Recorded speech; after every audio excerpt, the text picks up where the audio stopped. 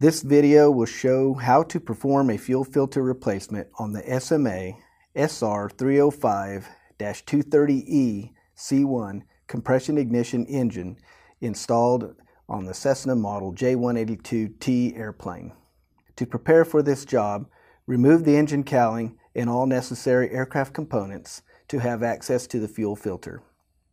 Ensure that a container or drip pan is placed under the engine to catch spilled fuel. Use a strap wrench similar to the one shown here to loosen the fuel filter. Remove and properly discard the old fuel filter per shop's standard practice. Before installing the new fuel filter, fill the filter full of clean fuel. This will help eliminate air in the fuel circuit and will reduce starter overuse when performing the engine run-up. Next, lubricate the seal with clean engine oil.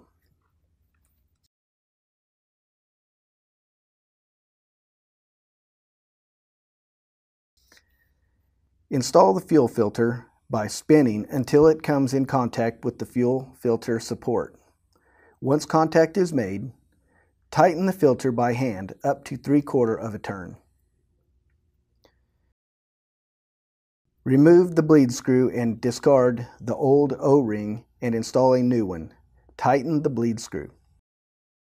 Hand operate the priming pump until pumping gets hard.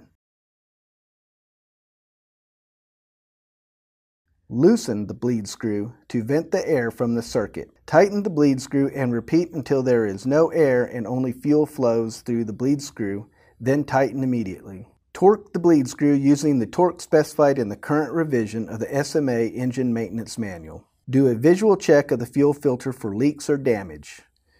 When this check is deemed to be okay, perform a standard engine run-up procedure and do another visual check for leaks or damage prior to returning the plane to service.